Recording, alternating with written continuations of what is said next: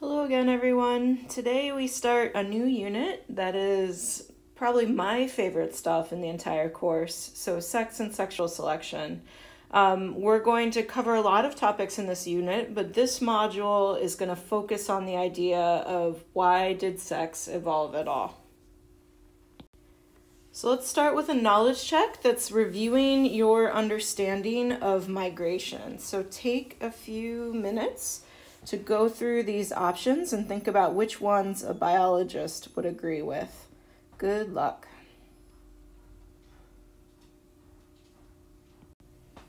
Okay, so now let's focus back on the new material. So in this unit, um, Unit 7, we're going to talk about why creatures, um, and not just creatures, organisms reproduce sexually. Um, why are there different sexes in a lot of species? Um, how many individuals should one mate with to get the highest fitness? And then what is sexual selection and how is it the same or different than natural selection? And then we'll go through some forms of sexual selection. So for today, we're going to focus in on this. As soon as I get my pen going here. We're focusing in here. All right, so why reproduce sexually? And when I was an undergrad, this was actually one of the first questions that really sort of blew my mind. Like that we didn't know why something this common, why it evolved, right? And so we're going to talk about why we think it evolved, but we need a lot more evidence before we know that for sure. All right, but today we're going to kind of explore that topic. Specifically, we're going to hit on these things. So, we're going to talk about possible modes of reproduction that are found in nature and just the evidence that it doesn't have to be sex. Um, we're going to talk about the costs of sex, which are large, and then we're going to talk about the potential benefits of sex. So, to get us going, let's get some definitions down and make sure we're all on the same page here. So, let's start with what asexual reproduction is. So in asexual reproduction, offspring arise from a single organism.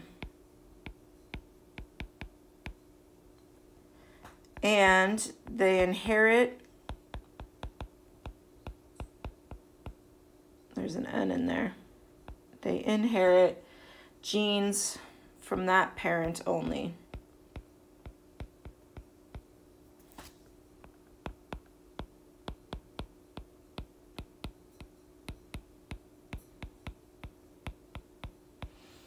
Right, so like cloning, for example, is, is a really common way of doing this.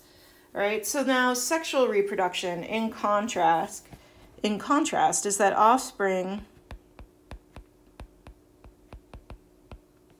arise from two individuals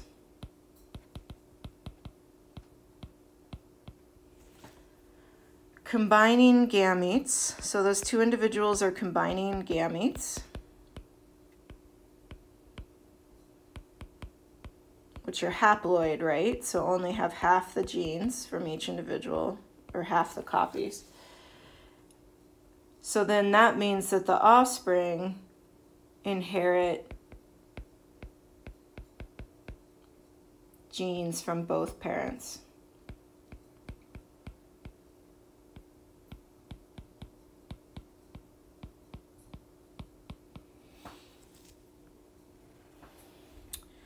And this this combination of two individuals coming together to make an offspring allows something new. It allows for the shuffling of genetic combinations.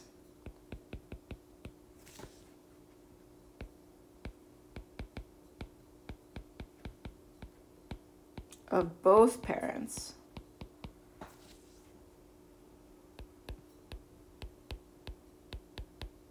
through recombination.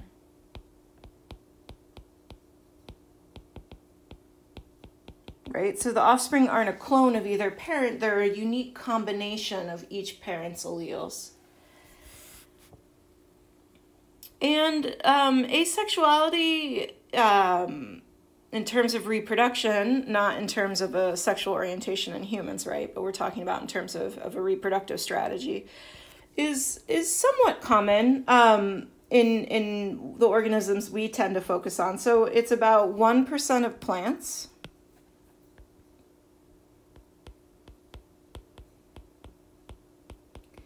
And um, about 0.1% of animals.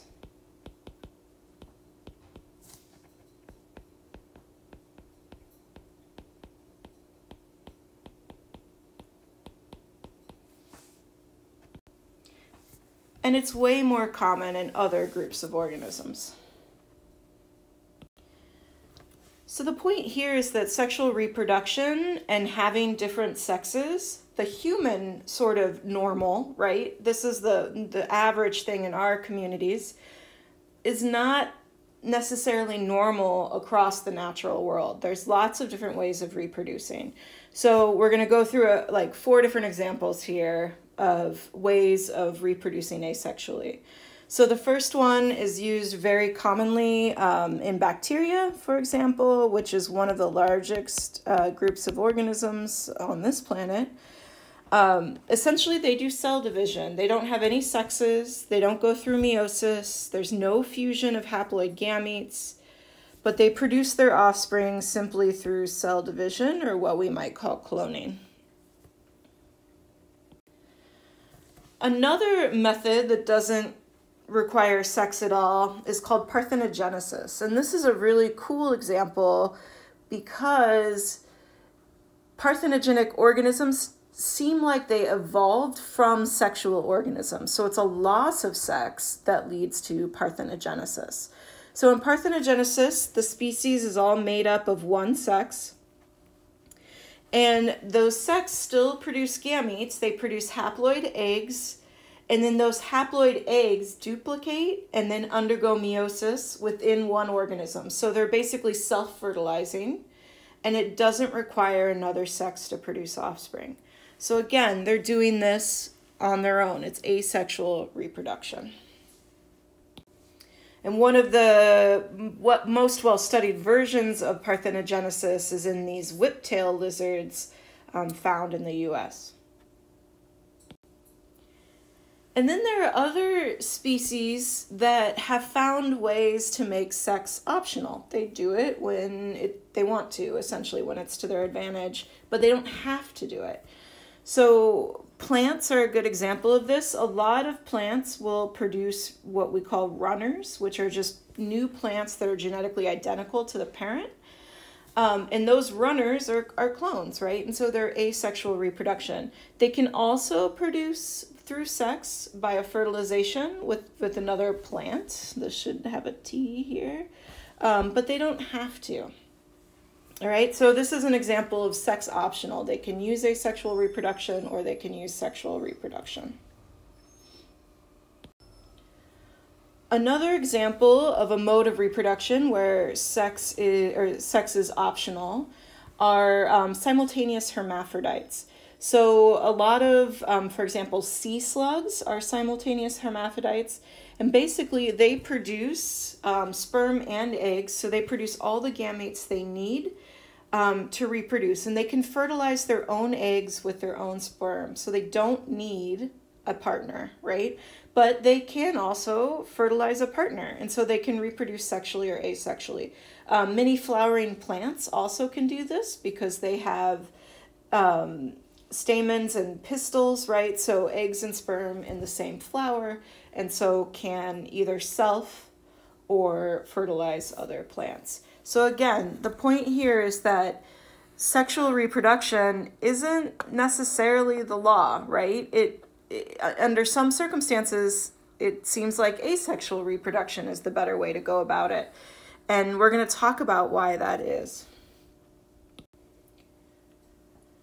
So I want to start with a brainstorm here. Um, take a few minutes to think through what you think the costs and benefits might be of sexual reproduction relative to asexual reproduction. I'd like you to try to come up with three, and at least one of them is in a, is a cost, and at least one of them is a benefit. And so my hint here is to just think about the costs and risks and benefits of having two humans come together to produce offspring um, versus producing your own offspring, or thinking about, if you want to, the biology of meiosis and the potential costs of meiosis for individuals. So please take a couple minutes and jot down your ideas in the PlayPosit on the side.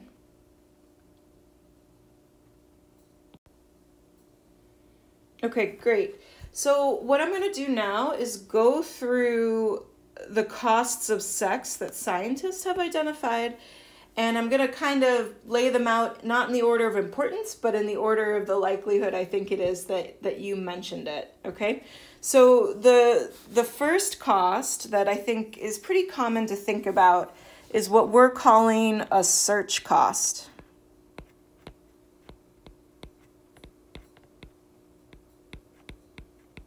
Okay? So here's the deal. If you're sexually reproducing, so sexually reproducing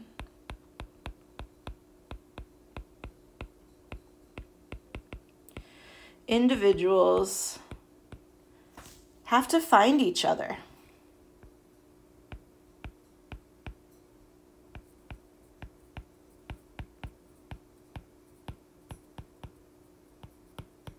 to be able to mate.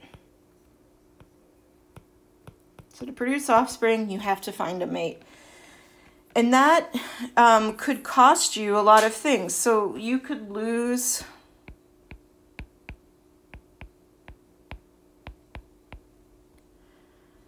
time. that could be spent mostly gathering resources is what we're going to contrast this with. So time that could be used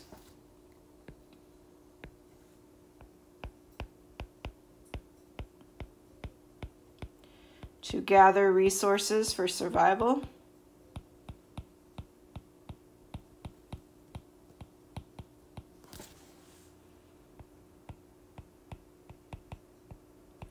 The other thing that you could lose is energy. Maybe you thought of it in terms of like an expense cost, like money with humans, but the budget that most organisms are worried about is energy. So, energy that could be used again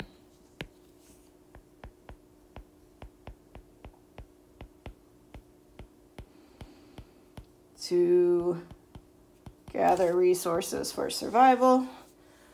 And then the other thing you could lose is your life.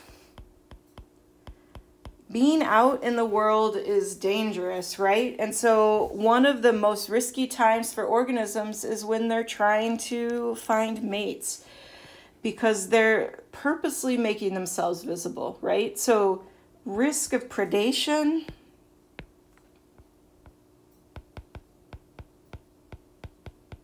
This was unlikely, maybe, to be one that you thought of for humans, but in the organismal world, this is true. So, risk of predation high when looking for mates. So, there's a lot of costs here energy, time, and then a potential risk to survival. And this is all in contrast to asexually reproducing individuals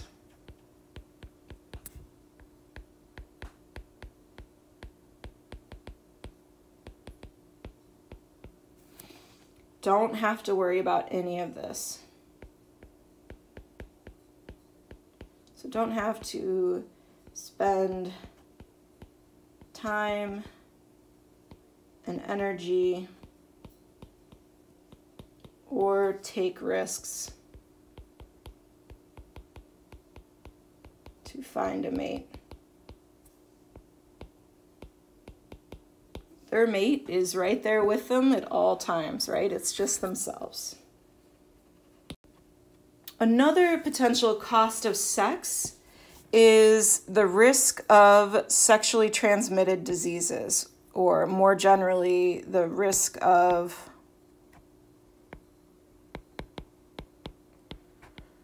sexually transmitted infections.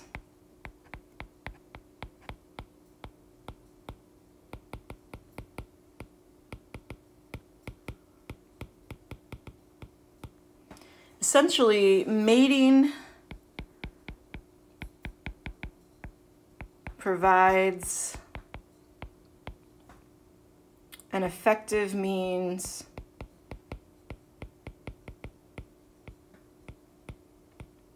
of transmitting pathogens.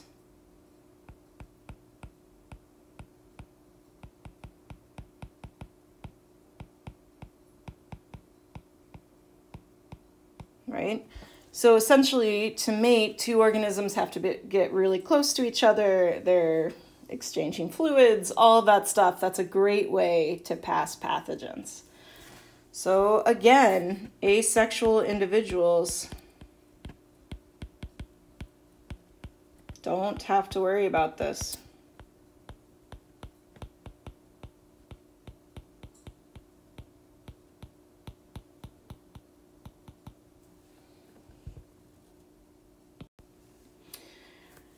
The third cost of sex is reduced relatedness.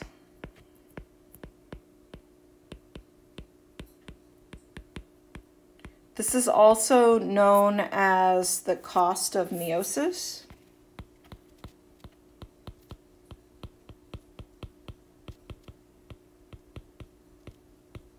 Right, and the idea here is that sexual individuals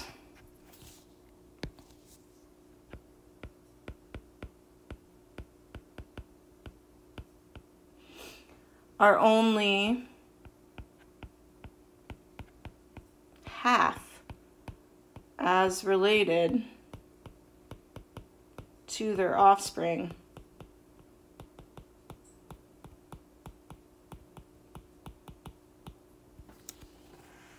as asexual individuals.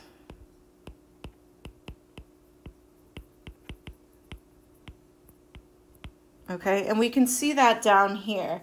So if we look at this image, we've got alleles at three loci. Um, and the alleles in this individual are big A, big A, little b, little b, and big C, big C, right? And in an asexually reproducing individual, all of their offspring, 100% share those alleles. They passed on all their alleles, right? So 100% of genes in offspring from this parent.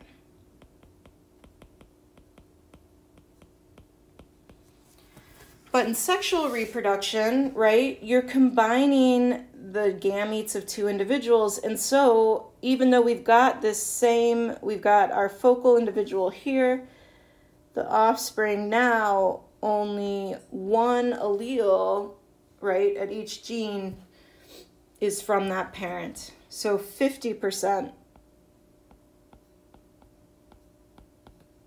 of genes in offspring from the focal parent. So in that way, you're having halving like one half um, of your genetic contribution to the next generation. Okay? And evolution is only concerned with what you pass on to the next generation. So if you're passing on double the number of your genes to the next generation you're in evolutionary terms you're doing better all right so again let's go through why this happens. So only passing half of alleles to offspring.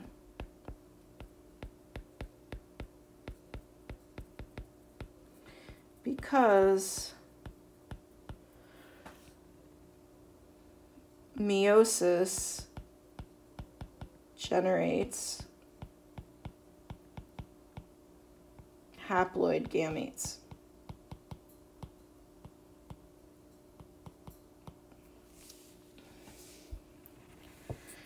This halves the relationship or the relatedness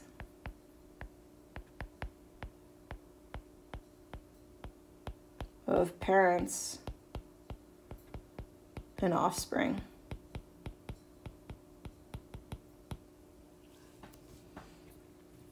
And what this means is that for the same amount of energy,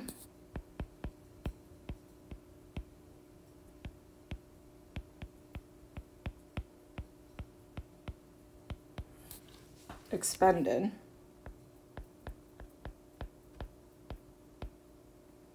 So the energy to do go through these cell divisions, right, and produce energy to produce one offspring.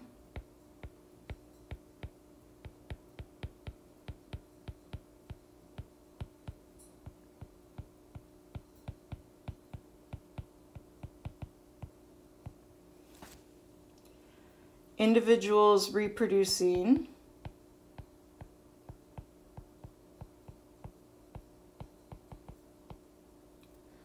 Asexually.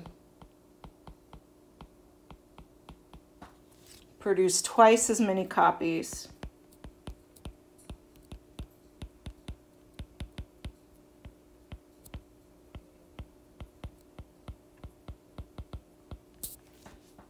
Of their genotypes.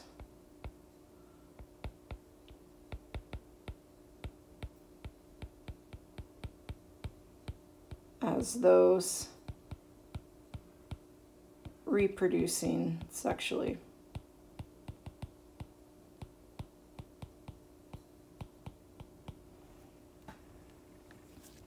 So, sex cuts in half your genetic contribution to the next generation. That's a cost.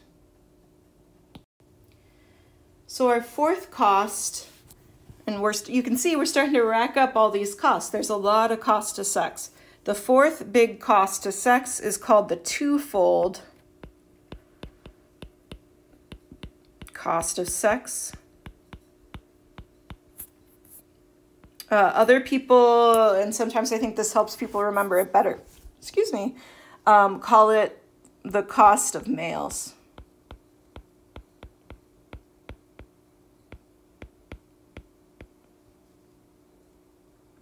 And here's the idea. The production of males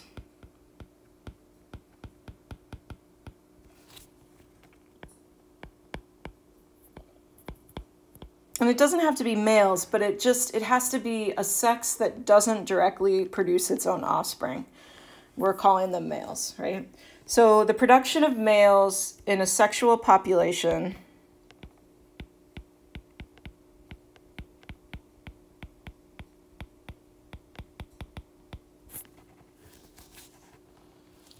reduces its reproductive potential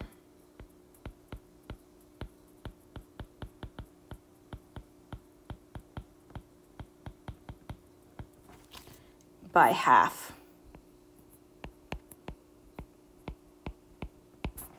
So let's walk through why this is true. In sexual populations,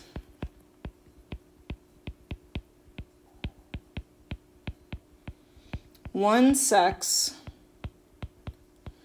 and this is usually males,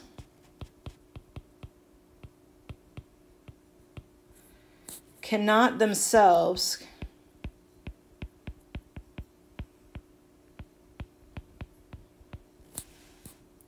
produce their own offspring.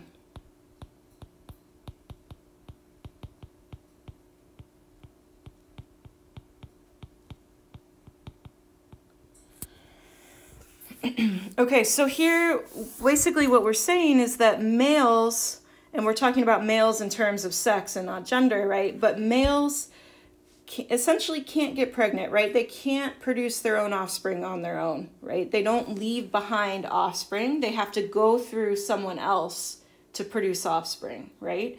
And so the image, the first image on the right kind of shows you this. So here's a sexual population and an asexual population. Let's say that each female leaves behind only two offspring, right? In a sexual population, half of those offspring will be male.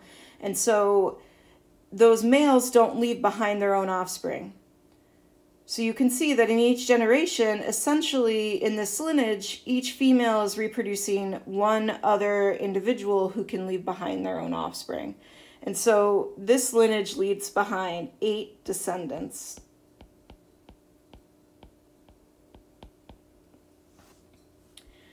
In an asexual population, now let's look at this one, we don't have the same problem. Because of because every clone of the initial parent can produce its own offspring. So even though they're each only still leaving behind two offspring, you're getting 30 descendants in the same amount of time, right? So it's been four generations, and now you've got 30 descendants from this initial individual versus eight. So in sexual populations, one sex cannot produce their own offspring, and so that limits the growth of the population. In asexual populations,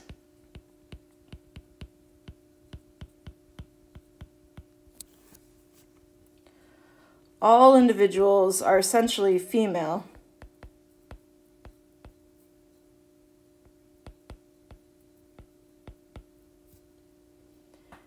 And all their offspring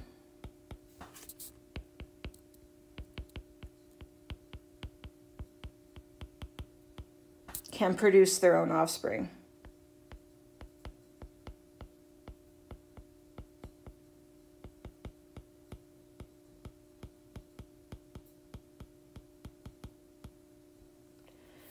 Thus,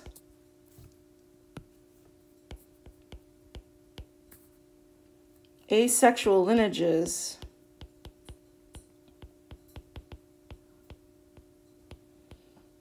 can grow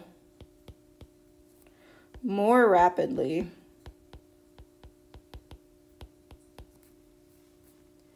each generation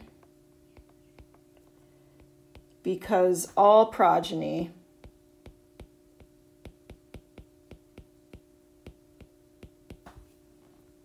capable of producing offspring.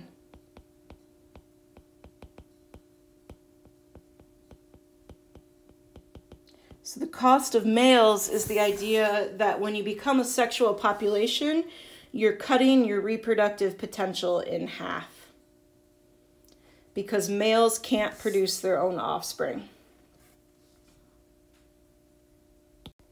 So we've just gone through four pretty big costs to sex. And so there have to be some pretty big benefits. So I want to talk to you now about one popular idea of a benefit to sex. And this idea is that is one that's taught in intro bio. It may have been one that you listed is that sex is favored because it generates novel genotypes. All right? And it generates these novel genotypes. Um, I actually meant for us to write this together, so you may need to write this in your notes. That it generates these genotypes, these novel genotypes, through recombination during meiosis. Because of recombination, sexual reproduction can produce gametes with unique combinations of alleles from different parents. We mentioned this on like the very first slide about the difference between sex and asexual is that you've got alleles from two different individuals coming together and mixing. So that's often cited as a benefit, but I want to challenge that idea for a second. So let's think about an analogy. Let's think about a card game. So each card in the deck represents an allele. And let's say that you just won the last card game. Say you're playing poker. I put up a picture here. I think it's a good hand. I don't actually play poker, so I don't I don't know. Um, but let's say that you won a poker game with a really good hand.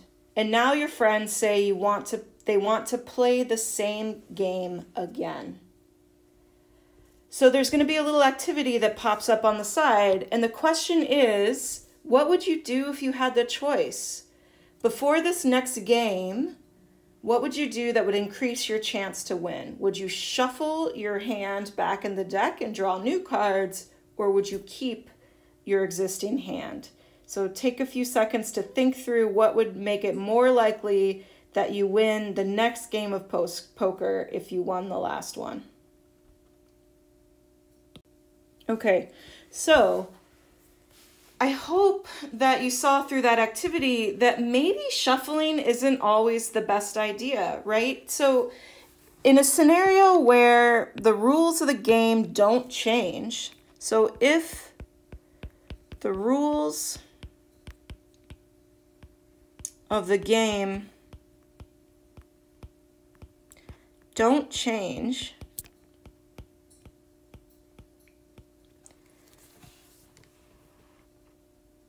then we expect that a winning hand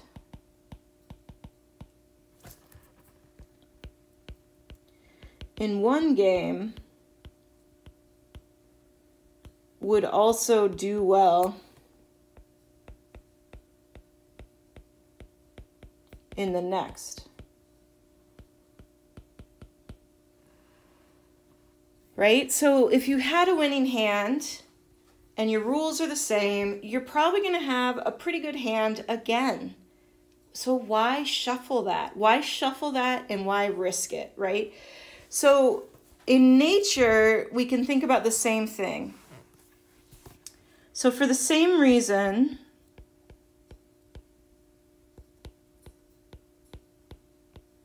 if we have a winning hand, and in this case, a winning hand would be an individual that has survived selection.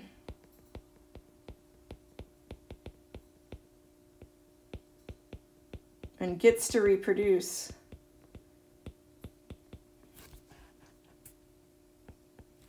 Oops. Sorry about this. Gets to reproduce.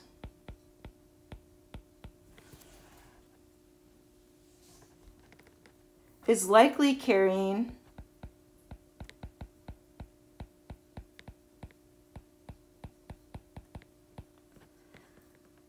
a good combination of alleles.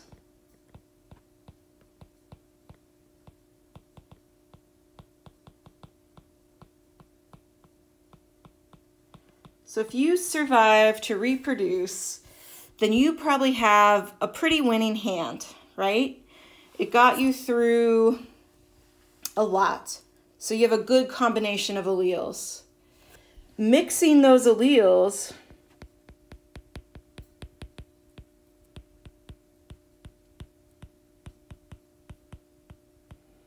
with a sexual partner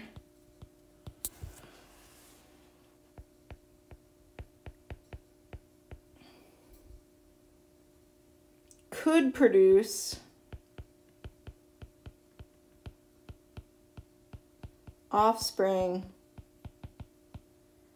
that are less fit because you're shuffling the alleles, right? You're mixing them back together with at least a portion of the deck. So in a stable environment,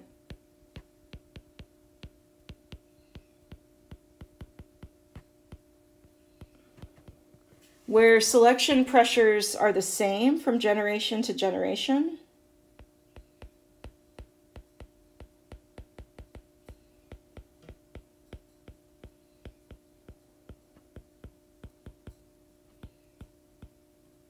From gen to gen.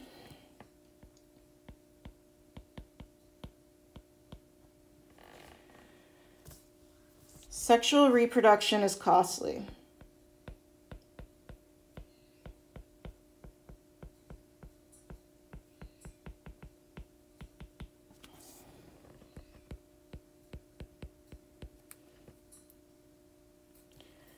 So only under certain under certain conditions.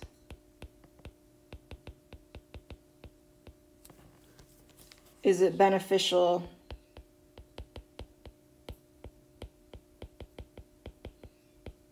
To shuffle?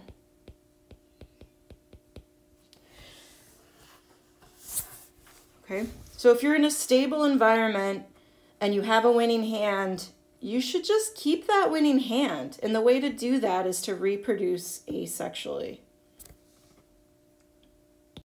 So that's our actual final cost of sex. We're going to call it separating a winning hand.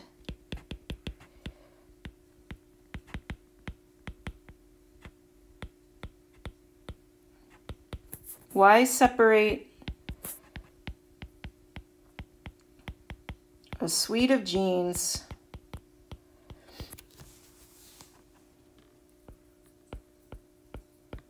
that give an individual that gave, let's say this, that gave the parent high fitness. Okay, so separating a winning hand. So if you say on an exam, for example, that one of the benefits of sex is that it generates novel genotypes, and that's all you say, you're going to get that wrong because there are a lot of conditions where that shuffling is not to an individual's advantage or to their lineage's advantage evolutionarily. Okay, so here is a summary table of the five costs of sex that we've talked about. This table is going to appear at the end of your notes. You don't need to write this down because you've actually already wrote, writ, written, written, I can't talk this morning, most of this down. Um, but I just want to get it in one place so that we can see that there are a lot of cost to sex. And so for sex to evolve, it has to be really beneficial. Um, and it's actually been challenging uh, to figure out what those benefits are and under what conditions those benefits exist. And so the question of why sex exists is still one that scientists are pursuing, but we're going to talk about the two big ideas of the benefits of sex now.